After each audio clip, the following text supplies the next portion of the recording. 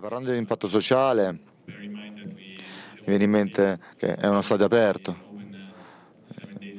Immagina se fosse aperto 7 giorni alla settimana, 24 al giorno, uffici, palestre, tanti eventi, 85 quest'anno, più attività aggiuntive all'interno del parco. Dal punto di vista sociale il nostro scopo, il nostro progetto è farlo aperto, farlo pubblico, non solo durante i grandi eventi. Devo dire che da questo punto di vista stiamo facendo bene. Tecnologia e sostenibilità. Beh,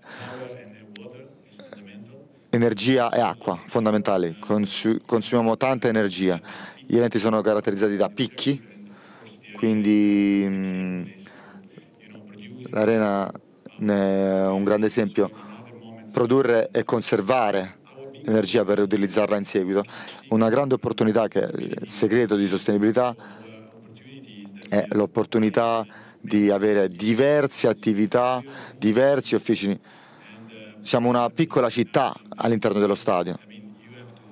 Eh, dobbiamo eh, produrre, vendere e distribuire per far sì che l'investimento diventi sostenibile. Abbiamo una certa area a disposizione per farlo